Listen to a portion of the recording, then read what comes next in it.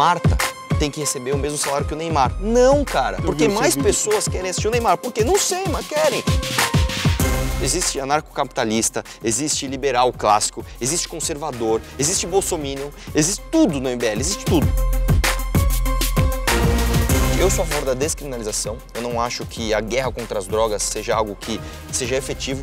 Calma lá, meu, vamos lá. Vai lá, vai lá, quarto chute. Uh! Quantos por cento dos deputados estaduais hoje de São Paulo vocês acham, você acha que trabalham da forma que você acha adequada como trabalho? Não que trabalha com os Sim. ideais que você acha adequado. Sim, da forma adequada. Eu te chutaria uns 15%. 15%? 15%. A maioria de todos os parlamentares do Brasil, seja vereança de município pequeno, seja Assembleia Legislativa, seja Câmara Federal, não é corrupta. Como assim? Não é. A grande maioria é burra. Arthur Moledo Duval, mano. Prazerzaço receber Prazer é você meu, aqui, cara, no Quase Atletas. Vamos fazer assim, ó. Primeiro a gente chuta cinco bolas cada um tem que acertar no travessão. Vamos ver quem acerta mais bolas no travessão, beleza? Nossa, vai ser difícil. Beleza? Vambora. E depois a gente chuta cinco pênaltis cada um, pode ser? Tá bom. Tá Aí bom? vai o outro no gol, é isso? Pode ser? Ou você que quer manda. chutar 10 bolas no travessão? Você que manda. Não, não, não. Vamos, vamos desse jeito vamos, aí. Vamos desse jeito? Beleza. Bora.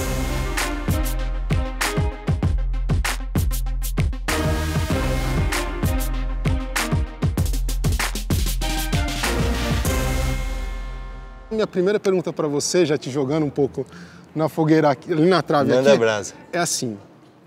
Tem algum cara de esquerda que já conversou contigo, porque você se considera um cara de direita, Sim. certo? E que você falou, cara, esse cara falou uma coisa agora pertinente que me fez mudar uma coisa essencial do meu pensamento. Cara, na verdade, se Começa eu te falar... Aí, vai, vai, vai eu, eu, eu vou, eu vou falando, na verdade, eu comecei é, a, entre aspas, militar na esquerda, né? Eu era um cara de esquerda. Nossa, mano, mal demais. Mas foi aqui. no gol, já é um começo. Quase. o, hum. eu, eu era de esquerda, né? E eu comecei a justamente virar de lado quando eu é. comecei a olhar outro, a ouvir os outros argumentos das outras pessoas.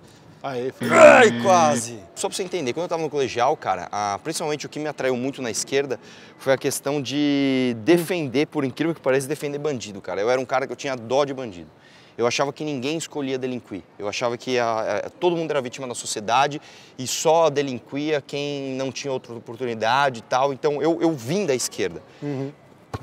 Nossa. Meu Deus do céu, tô passando vergonha. Três. Mas você falou uma coisa importante. Você falou que você começou na esquerda. Provavelmente naquela época você não tinha uma militância tão forte, ou não fazia Sim. vídeo sobre não, isso, não, mesmo, não, não discutia com pessoas tão abertamente. Mas tinha alguma coisa na esquerda que te atraía. Sim. E você falou que o principal era isso, era defender quem tinha uma Eu... posição de entre aspas, vulnerabilidade social. no crime. É isso, é isso. Mas depois que você começou a, a, a militar mais fortemente nesse campo da direita, Teve alguma ideia da esquerda ou algum cara da esquerda que você olhou e falou: Cara, esse cara falou uma coisa agora que me fez pensar. Por que, que eu estou faz... fazendo Sim. essa pergunta e eu acho que ela é tão importante? Porque eu acho que demonstrar que você ouve o outro lado é parte para falar assim, cara, eu estou defendendo aqui o meu lado, mas eu estou te ouvindo. Sim, cara, Entendeu? mas isso é essencial. Inclusive, eu posso citar vários nomes da esquerda que dizem coisas que eu não concordo, não é que o cara me convenceu, mas ele fala de um jeito que eu falo, poxa, o que ele está falando, o jeito que ele está falando, inclusive, é um jeito perigoso, porque ele está convencendo pessoas do contrário do que eu acredito. Mas você não está gostando do conteúdo do que ele está falando. Exatamente. Mas tem gente que, que, no conteúdo, ideias... Cara... Porque assim, a ideia é difícil, de... velho. É. é difícil. É difícil porque é o seguinte: uma vez que você vem da esquerda e muda de ideia, você já começa a entender os defeitos daquilo que essas pessoas estão defendendo. Então, vou dar um exemplo para você aqui. Se eu pegar, por exemplo, o próprio Ciro Gomes. O próprio Ciro Gomes ele é um cara que ele fala muito bem, ele tem ali a, a, o jeito de convencer as pessoas, que ele, ele, ele parece ali, é, é, é ele impõe ali a, as ideias dele de maneira incisiva, ele é um cara que ele, conven ele tem um, um, alto poder de persuasão. Uhum. Só que quando você começa a ouvir e entender, né, pô, o que ele está falando não dá certo, porque eu conheço um exemplo já do que ele está falando e não deu certo não sei aonde. Uhum. Pô, o que ele está defendendo são coisas que eu sou completamente contra. Então, eu vou, eu vou te dizer, não, eu não quero ser arrogante, cara, uhum. mas uh, mesmo eu conhecendo várias pessoas de esquerda que têm muitos bons argumentos, eu sempre tendo a discordar e entender o porquê que eu estou discordando. Eu não tenho uma opinião cravada sobre, por exemplo, a legalização das, das drogas. Sim. Não tenho uma opinião cravada. Eu já vi, vi, vi muita coisa na vida, vi muita coisa tal.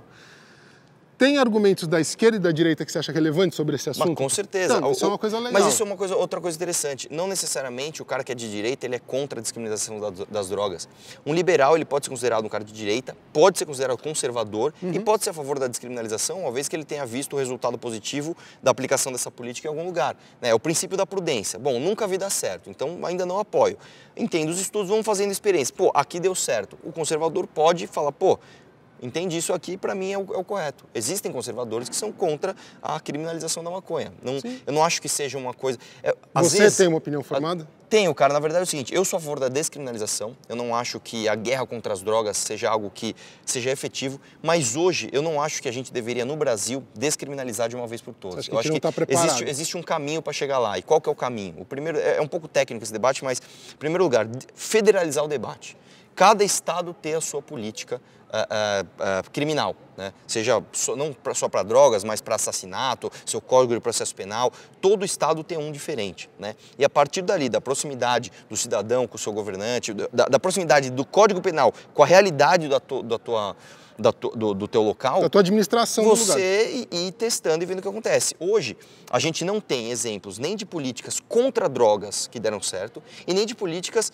uh, discriminatórias que deram certo. Existem alguns casos nos Estados Unidos que está sinalizando que é o caminho mais correto, mas ainda não podemos afirmar categoricamente. Então, eu, eu fico meio assim, sou cético em relação à, à teoria, mas na teoria eu acredito que, que a descriminalização seria o melhor caminho. Mesmo porque, enquanto um liberal, eu acredito na liberdade individual, cara. Então, se você quiser usar algo que faz mal pro teu corpo, eu acho que faz parte, da, inclusive, da tua liberdade individual. Uhum. Mas daí entra numa questão muito. Daí o debate começa a aprofundar muito, uma, uma questão muito delicada, né? Se o cara começa a fazer muito mal para ele mesmo individualmente, ele compromete o coletivo onde ele está inserido. Então, né? esse é um argumento, eu acho um bom argumento contra, mas. É a mesma eu... coisa. É desculpa, mas é, mas é a mesma coisa de uma coisa muito simples e a pessoa, por exemplo, é, usar cinto de segurança. Pô, você tem a liberdade Sim. de não usar o cinto de segurança? Tem, mas você sofre um acidente e você se torna Exatamente. incapacitado por um tempo, permanente por causa daquilo, você prejudica o coletivo onde você está inserido. Ex exatamente. Eu, eu concordo com esse argumento, acho que é um bom argumento. Ainda tendo a achar que a descriminalização leva a um consumo menor, por incrível que pareça, e menos males ao coletivo do que de fato você fortalecer o tráfico. Porque eu acredito que você criminalizar a maconha, você fortalece o tráfico de drogas. Se tem alguém que não quer que a maconha seja descriminalizada, é o traficante. Uhum. Então, eu acredito que neste caso, eu entendo esse argumento perfeitamente, acho que é um excelente argumento, acho que tem que ser colocado na conta na hora de defender a liberdade individual, mas ainda acho que no caso da maconha especificamente, eu acho que é fortalecer a, a, o, é, é, é, não fortalecer o coletivo, ao contrário, acho que é prejudicar o coletivo. E vê, você, eu sou um cara que não sou nem contra, não, não tenho opinião fechada sobre isso. Mas é exatamente isso. Tem argumentos contra e a favor Sim, de ambos os lados, tem. por individual e por coletivo. E esse, e esse E a decisão é difícil. Não, e esse debate específico eu te digo, o debate de descriminalização da maconha é um debate que quando o cara tem muita certeza no que ele está falando, hum. em algum momento ele está ignorando algum argumento contrário, porque, como eu te falei, não existe no mundo ainda nós estamos em 2019 e não existe no mundo um local ou uma política antidrogas, seja mais restritiva, seja mais permissiva, que você possa tomar como exemplo para falar, ó, vou ampliar isso daqui. Outro, você né? tem que olhar e falar, cara, aqui tem muitos benefícios e alguns malefícios, aqui tem alguns benefícios Exatamente. e muitos malefícios, eu vou para cá. Exatamente, é basicamente né? isso. Né? Só uma coisa, eu estou sentindo que o microfone caiu aqui. Com ele ali. o cara tá cheio de esparadrapo já, velho. O cara vai depilar. Ah, aí, ó. Já, ó, ó. Tá pelando já. Mostrou pra que que veio, Pelo né? amor de Deus, velho. Eu tô até nervoso depois de ver se não, não, essa bola Você aí, quer cara. trocar a bola? Só se acha que quer. Não sei, mas o problema não é a bola, o problema é o jogador, mano. Vamos nessa bola. Agora que eu tô me acostumando com o peso, que eu tô fazendo aqui o vento, tudo, você quer tirar a bola de mim, né? Mas vamos lá. Calma lá, meu, vamos lá. Vai lá, vai lá, quarto chute. Uh! Puta! Caramba, foi, tá foi vendo? Quase, Como quase. concentração é tudo? Não é, cara. Agora eu, te, eu te explicar. Agora eu tô sentindo o, o, a bola. Agora é, é isso. O problema, é, o problema era esse. O problema todo era esse. Agora o quinto vai é que, que a gente vai. falou de maconha, você começou mais a sentir as coisas. Vamos lá tentar vai esse lá. último aí, meu? Mas só pra terminar, você acha. Vai, chuta e fala. Vai lá, vai lá, vai lá. Chuta, chuta, vai lá. Nossa, muito ruim. O último eu ainda caguei tudo. É, escuta. Acho que você tá fazendo uma experiência social comigo aqui. Você me desconcentra só pra ir mal. Não, quer chutar mais um? Chuta tô brincando, aí. tô brincando. Ó, seguinte. Diga lá. Você acha que quando você por exemplo, existe uma discussão muito ferrenha atualmente em vários esportes, por exemplo, o tênis é um deles. O tênis que é um esporte que envolve muito dinheiro, tem essa discussão muito forte que assim, os prêmios para homens e mulheres têm que ser iguais. Né? Assim, hum. os, os, prêmios nos torneios. E tem torneios que já estão até caminhando para isso, aderindo a isso, outros torneios não. Você acha que isso muitas vezes funciona e é um incentivo para que o, o esporte seja visto, o masculino e o feminino, de maneira igual? Ou é uma coisa que deturpa um pouco o conceito geral? Porque, na visão que eu acho que de um cara um pouco mais de direita, fala assim: putz, se aquele cara tem uma final que gera mais dinheiro, que atrai mais público, que gera mais interesse pelo esporte, é normal que os ônus e os bônus caminhem de formas diferentes. Cara, eu, eu acho que isso mostra bem a diferença de um pensamento mais à esquerda e um pensamento mais à direita. O pensamento mais à esquerda acha que o dirigismo vai fazer a sociedade se moldar àquilo que um planejador central consegue. Então vamos supor, vamos supor que eu sou diretor lá da, da, da do, do, esporte de tênis e eu, e eu estipulo que o prêmio vai ser igual. Então automaticamente eu acho que o público vai se deslocar de maneira mais igual a ver jogos masculinos e femininos. Não! Eu discordo completamente. Eu acho que é o contrário. Mas eu acho que você sabe que não vai se deslocar, mas pelo menos você está falando assim. Não, mas eu não ah, acho. Eu vou, eu vou deixar a igualdade. Mas aqui. eu não acho legal isso. Isso é, uma, isso é, uma, maneira artificial de você criar uma demanda que não existe. É como se você. É, é a mesma coisa que eu chegar para você e falar assim, cara, a Marta tem que receber o mesmo salário que o Neymar. Não, cara, porque mais pessoas querem assistir o Neymar. Porque não sei, mas querem. É a mesma coisa. E aí eu inverto a questão falando o seguinte. Por que, que a Gisele Bündchen ganha não sei quantas vezes mais que o modelo mais caro do mundo? Porque as pessoas querem ver mais beleza feminina. Eu, porque não sei, mas é porque as pessoas querem fazer. Da mesma forma que se eu chegar para você e falar assim, eu, eu gosto de vôlei pra caramba, apesar de eu ser baixinho, na escola eu, eu era fissurado em vôlei, uhum. fiz parte da seleção do meu colégio, mesmo sendo baixinho, e eu assistia, na época do Bernardinho, as finais, os jogos femininos, e era incrível, cara. Tinha eu rally, curto muito mais tinha, vôlei feminino Cara, tinha disputa, tinha, meu, era animal, cara, era muito louco. Agora, meu, eu vou assistir futebol feminino. Eu, é que eu nunca gostei muito de futebol, especificamente, de assistir, mas eu não via graça. Então, assim, é uma coisa que não adianta o prêmio ser maior, não adianta, cara, eu, eu simplesmente não vou ter interesse. E as pessoas são assim, as pessoas agem a partir de demandas naturais, né? A gente pode aqui ficar discutindo antropologicamente por que, que as pessoas se interessam mais por determinado esporte eh, masculino e por determinada, sei lá, beleza feminina, mas o fato é que é assim. Eu acho que a, a, a naturalidade das demandas humanas são muito mais uh, espontâneas, muito mais efetivas, rápidas, sensatas, do que de fato de um planejador pensando o que vai fazer. Então, eu, eu sinceramente, eu, eu, vejo um pouco com, com, com asco esse negócio. Eu acho que, cara, de, Vamos lá, existe alguma lei que impede mulher de jogar futebol? Não. Existe alguma lei que impede eh, pessoas de assistirem futebol feminino? Não. Então por que não tem demanda? Porque não tem porque não tem. Cabe ao. Eu vou te falar porque eu sou, eu sou, entre aspas, vítima disso. Eu sou fissurado em motocross. Motocross é um esporte que no Brasil não tem nenhum incentivo. Você vai comprar uma moto, não existe moto nacional, todas as motos são importadas, todas as motos você paga um imposto de importação absurdo, não tem peça, tudo demora, não tem pista para você andar, não tem atletas brasileiros no top, é, ranqueado top no mundo, porque não surgem atletas daqui por causa da falta de incentivo. E eu acho que não é, é papel do governo incentivar o esporte nesse sentido. Eu acho que tem que desincentivar hum. a, a, a, burocracia. Então, por exemplo, se o governo falasse assim, ó, não vamos ter mais imposto sobre motos, aí você vê naturalmente se esse esporte vai florescer.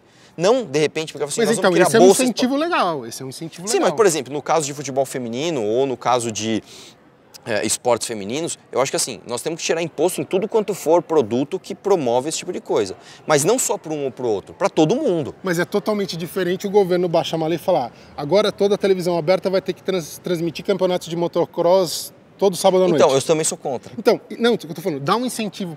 É que é, essa é a linha tênue, na minha opinião. Sim. A linha tênue entre, pô, tem um monte de gente querendo praticar motocross. Como que eu incentivo esse mercado? Conseguimos baixar os impostos das motos importadas, porque a gente não tem mercado Sim. nacional, isso né, é, é tênue, mas isso na minha opinião... Seria um baita incentivo. Isso é um incentivo. Dar uma canetada e falar, agora toda a televisão aberta precisa transmitir campeonato de motocross 8 da noite de sábado, não é legal. Exatamente. Entendeu? Exa aí estamos alinhados. É uma linha, mas é uma exatamente. linha que. Exa cara, vai ter gente cê, defendendo exatamente. dos dois lados. Você tem sempre que pensar, pô, eu tô sendo autoritário aqui?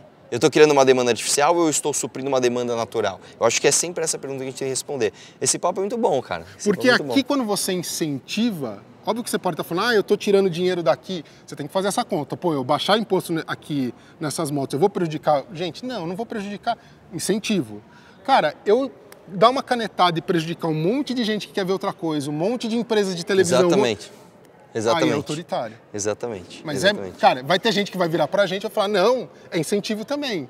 Não vai ter gente que vai. Vai, falar. mas aqui tá. É difícil de você falar com as pessoas, mas tem que comunicar. Vou mandar o meu primeiro. Olha lá, beleza? olha lá, lá. O cara vai, o profissional. Não, vai que lá. profissional, velho. Você veio, você veio no programa de inclusão, o gordinho fazendo programa de esporte, mano. Vamos lá. Vai lá. Oi, errei, tá vendo? Botou pressão. Ah, botou pressão pra mim não O seu primeiro foi bem melhor que o meu. Vou chutar. Ah, Errou! Vai lá, tá vendo? Só porque eu tô aqui, agora ele vai ficar emocionado e não vai acertar. É, cara, Torcendo contra o cara aqui, ó. vamos lá. Depois que você assumiu como deputado, teve algum dia que você fala assim, mano, vou desistir também. Ou não. Depois, agora, agora é mais tranquilo, né? Cara, depois que passou isso daí, Agora você tem só uma ficou, base. só ficou, só ficou mais, eu não diria mais fácil, mas eu, eu fiquei mais maduro, porque você começa a aprender a rebater, inclusive dentro de si próprio, críticas que você vê de pessoas até que você gosta, cara. Então assim, que nem essa última polêmica que teve agora, que eu comecei a ser xingado por pessoas que gostam do meu trabalho, pessoas mais à direita, Uhum. cara, é uma grande provação. Porque você fala, meu, eu tô aqui para quê? Para fazer sucesso para todos, para ser sempre aplaudido ou para defender o que eu acredito? Né? E não, eu vou defender o que eu acredito, mesmo que eu seja vaiado, mesmo que eu seja xingado. O meu princípio vale mais do que a busca por likes ou a busca por sucesso. Então, nesse sentido, acho que rola até um amadurecimento, cara. Vou lá, mais um. Ah! Errou! Vai lá, vou chutar um na sequência aqui, vai. Olha lá, olha se ficar lá. 0 a 0 vai ficar feio, vai. Melhor eu fazer um, né? Não sei, cuidado pra não errar, hein, meu. Uh! só falta mais um. Eu não queria te Só botar pressão, um. mas só falta mais um, tá? Não, não, mas se ficar 0 a 0 a gente chuta um- mais um cada um, vai. Vamos lá. Não pode errar, hein? Pode errar, hein? Ai, meu Deus! Quase Pegou de ras- raspão, meu! Quando você começou a crescer, eu acho que você teve um momento pessoal, na minha visão, importante. Porque você fazia um trabalho solitário, como você falou. Puta, eu ia lá, editava. E um monte de gente começou a gostar do seu trabalho. E eu imagino que um monte de gente chegou para perto de você quando você começou a ganhar notoriedade. E você tomou uma decisão, na minha opinião, que deve ter sido difícil. Você falou, cara, eu vou me aliar ao MBL. No momento que não tinha mandato de deputado, não tinha Sim. eleição, e você tomou essa decisão. Daí uma pergunta pessoal que não tem nada a ver com o momento atual das manifestações que rolou. Você avaliando o seu caminhar, você acha que foi uma decisão? Puta, ali foi um momento que eu acertei porque eu tinha que me juntar a mais pessoas? Ou você já teve a reflexão de falar, puta, acho que eu devia ter caminhado um pouco mais sozinho? E não conheço ninguém do MBL, não estou falando que alguém do Sim, MBL é sim, burro. sim. Eu estou falando, por que a decisão naquele momento de não vou mais caminhar de maneira solitária? Cara, e foi- como esse momento funciona hoje na sua cabeça? Cara, na verdade é o seguinte, desde que eu criei o canal e ele começou a crescer, eu conheci muitas pessoas legais, mas muitas pessoas, do Brasil inteiro, cara. Conheci pessoal, meu, de Instituto Liberal, Instituto de Estudo, eh, político, conheci muita gente bacana. E no caso do MBL foi uma coisa natural que aconteceu, porque o que, que aconteceu? O Pedro me ligou, falou, Arthur, quer fazer uma parceria de divulgação? Quero. Ó, você faz o vídeo, você põe o logo do MBL e a gente divulga na página, só isso. Então, eh, não tinha contato. Eu peguei, continuei fazendo meus vídeos, chegava lá com o vídeo pronto. Ó, tá o vídeo aí, assiste aí. Aprovado, aprovado, beleza. Eles põem na página e acabou. Então Mas já eu se fiquei... estabeleceu uma parceria ali. É, mas eu, eu fiquei assim uns, uns seis meses só nisso. E comecei a ter um pouco mais de contato. E aí, como é que você tá? Pô, Uhum. ó, vamos comer ali, vamos ali e tal, tal, tal. Aí teve um dia específico, foi um dia bem, bem bacana, que eu tava lá entregando um vídeo e aí o Renan falou assim, Arthur, tá rolando a Olimpíada no Rio de Janeiro. Vamos lá fazer um vídeo e perguntar pros gringos o que, que eles estão achando da carga tributária do Brasil, a gente dá uns exemplos? Pô, puta ideia. Vamos quando? Cara, esse é o último final de semana. Vamos agora? Vamos agora, então vamos agora. Fui de Saveiro com o Renan. E nós, aconteceu uma coisa engraçada, que assim, sentei no carro, fui. Quando chegou no Rio de Janeiro, eu falei, Renan, eu coloquei o som e não liguei, velho. Nós viemos quatro horas e meia de viagem conversando, velho. Eu fui quatro horas e meia com o cara conversando, que eu não, eu não parei nem pra ouvir uma música. E as ideias bateram, cara. Eu pô, eu penso a mesma coisa do Brasil. Eu acho que a gente tem que ser propositivo.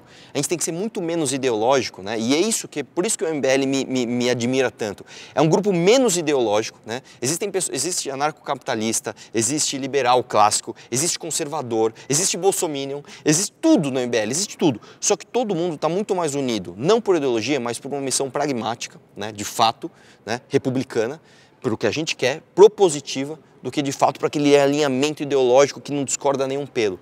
Então, esse tipo de pragmatismo, esse tipo de, de, de trabalho espontâneo, cara. O MBL tem mais de 3 mil pessoas que trabalham de graça de maneira espontânea. Pelo Brasil, o cara vai lá na sua cidade, faz militância lá no, no no município dele, o outro vai lá na Assembleia Legislativa do Estado dele, enche o saco e faz manifestação. Isso para mim, cara, me encantou. Falei, cara, é isso que eu quero. Eu, eu, eu, quero estar perto de vocês. E a gente começou a fazer missões juntos. Eu costumo até brincar, cara, com MBL, que eu sou como se fosse o Power Ranger verde, que eu tenho meu próprio Megazord, que eu tenho o meu canal, a minha página, as minhas redes e nós trabalhamos juntos nas coisas, né? A gente, eu não coordeno nada do MBL, não, não mando nada no MBL, não tenho poder de decisão nenhum, zero, tá? E eles também não têm poder de decisão nenhum em minhas coisas. A gente, nós somos parceiros. Sim. Não diria nem que nós somos sócios, nós somos parceiros, de Mas fato vocês parceiros. são um parceiro que, de certa forma, interfere muito no, no dia a dia um do outro. É, a, a, gente acabou se tornando amigo. Hoje eu sou amigo pessoal do Kim, do Pedro, do Renan, do Alexandre, do Fred. O, as pessoas hoje que trabalham comigo, né?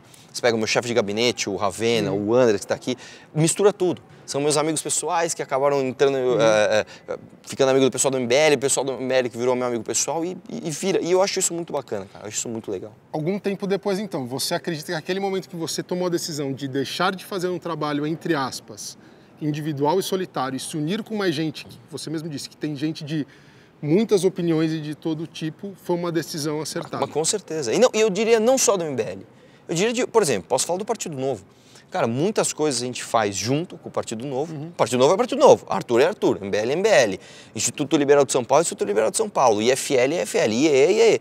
E a gente faz muitas coisas juntas. Você fala, meu, olha o que a gente está fazendo, cara, que coisa maravilhosa. Mas então, é engraçado que, que você fala muito mais do Partido Novo do que do seu partido, né? Assim, ah, não... ah, e eu tô de laranja ainda, mas foi, foi coincidência, foi coincidência. foi coincidência, Tem um 30 do Caveira aí, aqui. Esse aqui é do Caveira, um grande amigo meu, inclusive, ó, fazer um merchan aqui, ó, loja do cara é fera. Melhor loja de artigos esportivos. Não sei se pode por esse teu canal, mas se, se não, você corta. mas é isso aí. O, cara, tenho grande admiração pelo Partido Novo. Acho um partido maravilhoso, as pessoas bem intencionadas. Temos divergências uh, uh, estratégicas. Tipo, ó, vamos chegar ali? Vamos. Cara, chuta com a direita. Não, não, não. Chuta com a esquerda. Não, não. Chuta de calcanhar. A nossa diferença é essa. É a diferença estratégica. De um jeito que você não tome processo, me responde essa pergunta.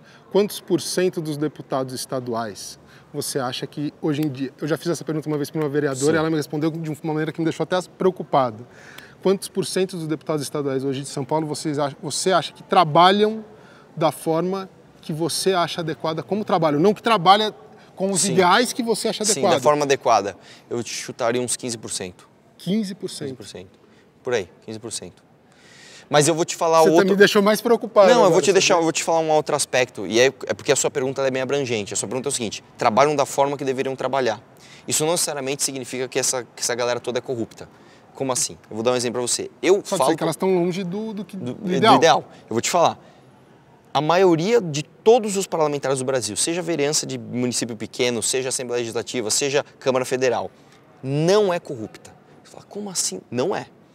A grande maioria é burra, mesmo. Eu não estou brincando. Cara, se você. Vamos dar um exemplo aqui. Mas quando você pega um dinheiro público que não é seu e não trabalha de maneira adequada, então, eu não posso categorizar isso não é como legal, corrupção, né? mas não, isso está é longe do ideal. E eu vou dar um exemplo para você que não você é vai ideal. entender.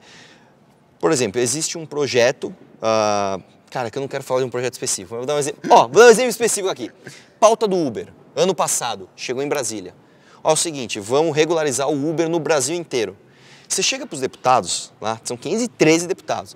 A grande maioria você chega para o cara e fala assim, vem cá, é, você sabe o que é pacto federativo, você sabe o que é uma regulação? O cara nem sabe. O quê? O cara vota de acordo com o que o líder partidário vai mandar. O cara chega e fala assim, ó, a tua base está pedindo isso, então você vai votar aqui, tá bom?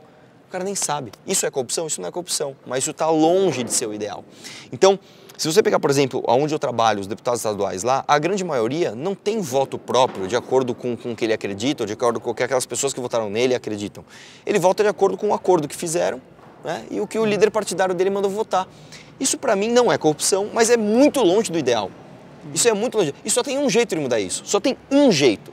É comunicando as pessoas que votam para que elas votem em pessoas que façam um trabalho de acordo com o que elas acreditam. Né? Eu vou dar um exemplo aqui. Mas é levando ao conhecimento o trabalho do dia a dia daquela Exatamente. figura, que hoje em dia não é de grande conhecimento. mas só para você ter uma ideia, tem coisas importantes rolando e, vamos lá, tá rolando um aumento de salário de fiscal de renda em São Paulo, né? Uhum. Já, esses caras já ganham acima do teto muitas Tem vezes. sido um grande conflito seu. Exatamente. Cara, eu, te- eu duvido, duvido que quem votou no Joãozinho da Silva lá, que foi na região, eh, consertou uma quadra, ergueu a mão, sabe que esse cara tá votando a favor de aumento de salário, inclusive onerando mais o pagador de imposto.